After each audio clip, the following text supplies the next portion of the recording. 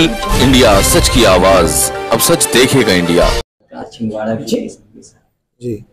केंद्रीय अन्वेषण ब्यूरो अर्थात सेंट्रल ब्यूरो इन्वेस्टिगेशन या सीबीआई में प्रतिनियुक्ति पर चयन होने के कारण मुझे मध्य प्रदेश सरकार द्वारा लीव किया गया है और दिल्ली में इस संबंध में मैं ज्वाइनिंग के पर्पज से जाऊँगा।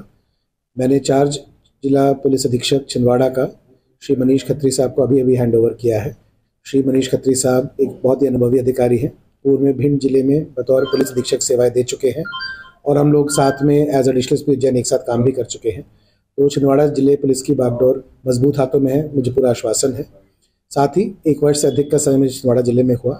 इस दौरान हमारे सामने मुख्य चुनौती शांतिपूर्वक तरीके से विधानसभा चुनाव 2023 कराने का था, जिसमें हमारे एडिशनल एसपी हमारे डीएसपीज और टीआईज आरआईज सबकी मदद से हम लोग सफल हुए।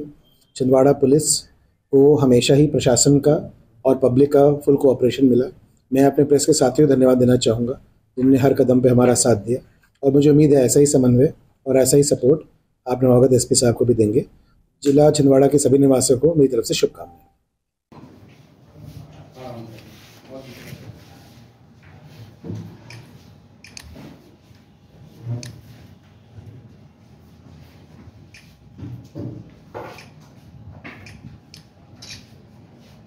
पहली प्राथमिकता यही है, अपराध नियंत्रण और जो कानून व्यवस्था है।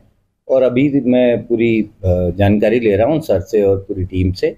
उस हिसाब से मैं एक योजना बना के और हमारी क्या और अन्य प्राथमिकताएँ होनी चाहिए, जनता की हमसे क्या अपेक्षाएँ हैं, उसका आकलन करके तब मैं एक योजना बना के फिर तब आपको अवगत करूँगा।